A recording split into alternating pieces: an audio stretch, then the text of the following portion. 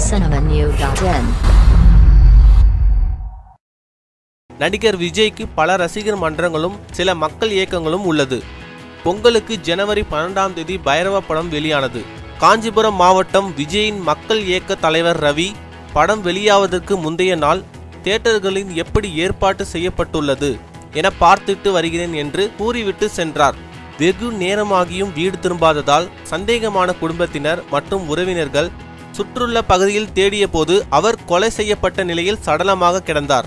Police விசாரணையில் அவரிடம் இருந்த இருநூத்தம்பது ரூபாய் பணத்தையும் செல்போனையும் பறிக்க வழிப்பறி கொள்ளையர்கள் முயற்சித்துள்ளனர்.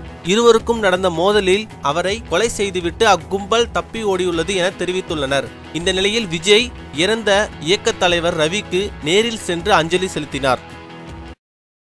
மேலும் சினிமா செய்திகளை தொடர்பு கொள்ள லைக் மற்றும் சப்ஸ்கிரைப் செய்யவும்.